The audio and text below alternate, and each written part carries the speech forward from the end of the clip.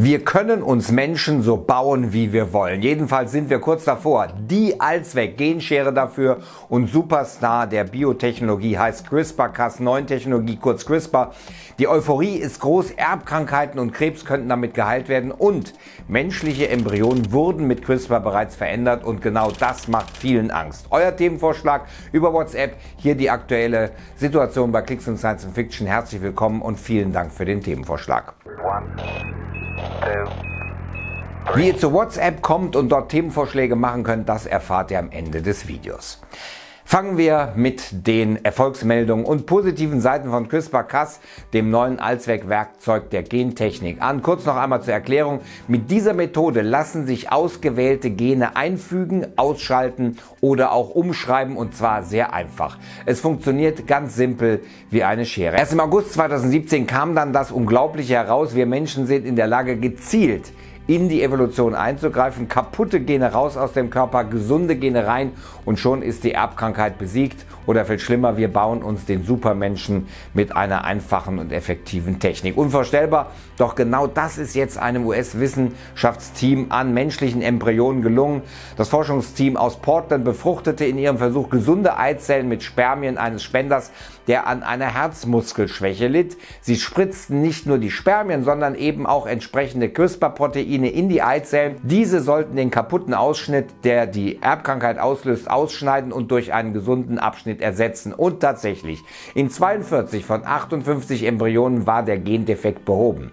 Wow, doch nicht zu 100 Prozent, denn dieser Versuch hat, genau wie vergleichbare Experimente, deutliche Schwächen. Und die sind nicht ohne. Konkret war bei dem Experiment etwas Seltsames passiert. Nicht der künstliche DNA-Schnipsel der CRISPR-Proteine wurde in die Embryos eingebaut, sondern der gesunde Schnipsel aus der natürlichen Eizelle, der eigentlich als Kopiervorlage zur Reparatur diente. Zugespitzt formuliert, die Wissenschaftlerinnen und Wissenschaftler wissen nicht, was sie da getan haben. Ähnliche Versuche mussten frühzeitig abgebrochen werden. Es gab viel zu viele ungeplante Genveränderungen, die ungeahnte Konsequenzen mit sich bringen könnten. Den Tod der Embryos, Fehlbildung, Krebs oder andere Erkrankungen. Und das ist das riesige Problem von CRISPR. Zu viel geht im wahrsten Sinne des Wortes daneben. Zu viel wird auch an anderen Stellen des Erbgutes verändert und das zum Teil ziemlich unkontrolliert. Trotzdem zeigt der Versuch des US-Forschungsteams, dass gentechnisch modifizierte Kinder keine Zukunftsmusik mehr sind, sondern wahrscheinlich nur noch eine Frage der Zeit. Uh, weitere große Hoffnung setzt äh, das Forschungsteam in die Behandlung anderer bislang unheilbarer Krankheiten, um beispielsweise mit Hilfe einer Gentherapie überzählige Chromosomen gezielt zu entfernen. Und das ist wirklich was eigentlich super positiv ist. In einem japanischen Experiment wurde jetzt gezeigt, dass das Genwerkzeug tatsächlich auch anders kann. Statt die gewohnte Feinarbeit gab es ein regelrechtes Gemetzel. Und ja, es grenzt schon an eine Sensation, denn dem Forschungsteam ist es gelungen, ein komplettes Chromosom im wahrsten Sinne des Wortes zu pulverisieren. Dafür züchteten sie im Labor Zellen eines Menschen mit Trisomie 21, auch das Down-Syndrom genannt. Ihr habt es vielleicht mal im Biologieunterricht mitbekommen. Bei dieser Erkrankung liegt das Chromosom 21,3 statt statt zweimal vor. Bislang gibt es keine Möglichkeit, die Erkrankung noch im Mutterleib zu behandeln. Doch, doch das Experiment aus Japan macht tatsächlich Hoffnung, dass dies demnächst möglich sein könnte. Vielleicht sogar während der Schwangerschaft. Auch andere Krankheiten, wie beispielsweise das Kleinfelter-Syndrom, bei dem ein zusätzliches X-Chromosom vorliegt, oder das sogenannte XYY-Syndrom, könnten so behandelt werden.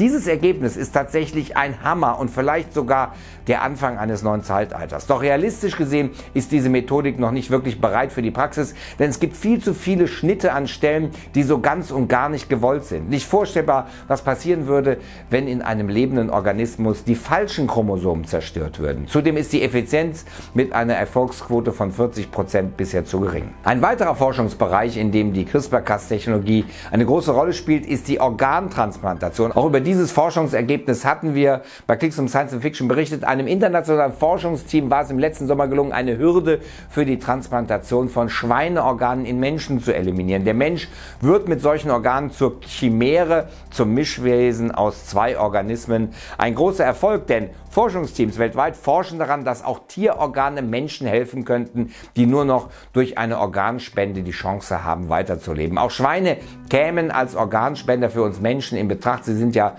uns sehr, sehr ähnlich. Doch Ende der 90er Jahre wurden Viren im Genom der Schweine identifiziert, die wohl gefährlich für den Menschen sein könnten. Diese porcinen endogenen Retroviren, kurz PERV, so heißen diese Viren, könnten dort Immundefekte und Krebs verursachen. Einem internationalen Wissenschaftsteam ist nun das gelungen, woran viele andere vor ihnen gescheitert waren, natürlich mit der CRISPR-Methode. Sie hatten rund 30 Ferkel erschaffen, die frei von diesen Retroviren waren. Jetzt plant das Forschungsteam, den PERV-freien Schweinestamm weiterzuentwickeln und damit dann sicher und wirksam das Schweineherz in einen Menschen zu verpflanzen. Der Fachbegriff dafür Xenotransplantation. Noch gibt es zahlreiche Schwierigkeiten zu überwinden. Bislang konnten Primaten nicht lange überleben, denen Gentechniker Schweineorgane eingesetzt hatten. Alle der sehr wenigen Versuche, Schweineherzen dem Menschen zu transplantieren, sind ausnahmslos gescheitert, denn das menschliche Immunsystem bekämpft fremdes Gewebe, selbst das von anderen Menschen. Das Studienergebnis klingt sicher erst einmal spannend, doch viele Fragen bleiben noch offen. Abzuwarten bleibt beispielsweise, wie lange die gezüchteten Ferkel ohne die Retroviren im Genom überleben werden. Bis jetzt weiß man nämlich noch nicht sicher, ob sie diese zum Überleben brauchen. Aber was ist, wenn sie weiterleben und dann noch ein Weg gefunden wird, die Schweineherzen gentechnisch zu verändern? Zu diesen ganzen Fragen kommt ein weiterer Aspekt hinzu, der moralische. Sind Schweine als Ersatzteillager für Menschen vertretbar und wo führt uns das alles hin? Viele, viele Fragen und noch viel zu wenige Antworten. Denn das Problem ist, dass die meisten Menschen außerhalb der Wissenschaftswelt zu wenig über diese Technik wissen, um ihr Potenzial, ihre Chancen und vor allem auch ihre Risiken abzuwägen.